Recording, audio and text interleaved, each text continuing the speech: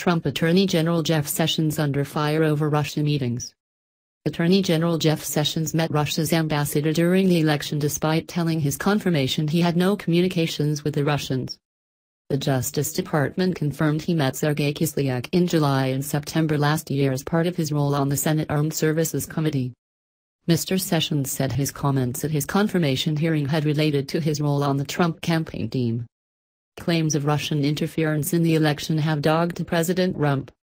The U.S. intelligence community believes the alleged Russian hacking of Democratic organizations was carried out to help Mr. Trump defeat Democrat Hillary Clinton. Mr. Trump's national security advisor, Michael Flynn, was fired last month after he misled the White House about his conversations with Mr. Kislyak, allegedly regarding sanctions against Moscow. Who is Attorney General Jeff Sessions?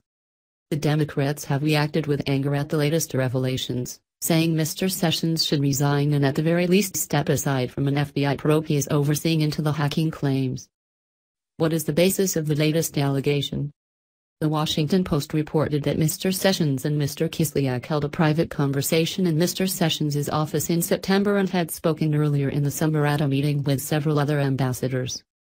Mr. Sessions had meetings with more than 25 foreign ambassadors in the course of the year but his meetings with Mr. Kislyak came while he was a prominent part of Mr. Trump's campaign team, a so-called surrogate, and amid growing reports of Russian meddling in the U.S. election. What did Mr. Sessions say? During his confirmation hearing on 10th of January, Mr. Sessions was asked by Democrat Senator Al Franken if there is any evidence that anyone affiliated with the Trump campaign communicated with the Russian government in the course of this campaign. What will you do?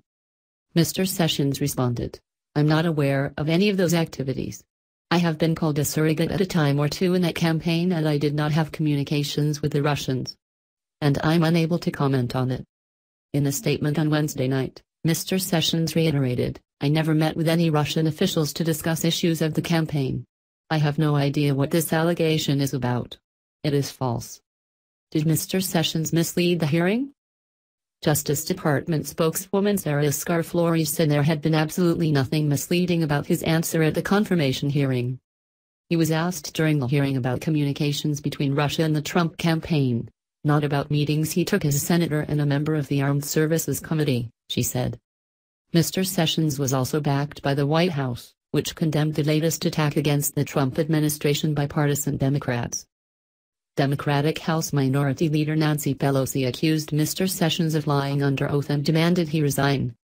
The Democrats have already called for Mr. Sessions to recuse himself from the FBI investigation into the hacking allegations. Mr. Sessions has said he will recuse himself from anything that I should recuse myself on. What is the new inquiry about? News of Mr. Sessions' meetings broke just after a congressional committee agreed to an investigation into Russia's alleged interference. The House Intelligence Panel inquiry will scrutinize contacts between Donald Trump's presidential campaign and Moscow. The White House denies any improper behavior during the election campaign, and Russia has consistently rejected allegations of interference.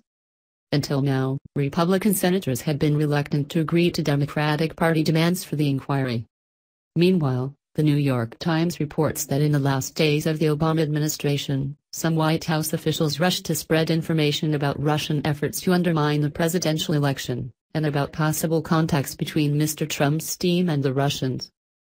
The paper quotes three former U.S. officials as saying they had two aims to ensure such meddling does not happen in future U.S. and European elections and to leave a clear trail of intelligence for government investigators.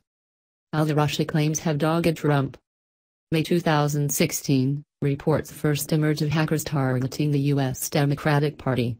Over the next two months, reports suggest U.S. intelligence agencies have traced the breaches to Russian hackers. July 2016, Jeff Sessions meets Russia's envoy to the U.S. Sergei Kislyak and several other ambassadors at an event on the sidelines of the Republican National Convention. August 2016, Paul Manafort, Donald Trump's campaign manager, quits after an FBI investigation into his alleged ties to Russian interests in Ukraine and the U.S. September 2016, Senator Sessions has a private meeting in his office with Mr. Kislyak. The Justice Department says all meetings were linked to his work on the Armed Services Committee. October 2016, the U.S. intelligence community released a unanimous statement formally accusing Russia of being behind the hacking of the Democratic Party. Mr. Trump questions the findings. Over the coming months, more reports on the hacking emerge. The U.S. intelligence agencies, the Justice Department and four congressional committees are all currently investigating the allegations. February 2017, Mike Flynn resigns as Mr. Trump's new national security advisor after it emerges he discussed the potential lifting of sanctions against Russia with Mr. Kislyak and then misleading Vice President Mike Pence about the communication. communication.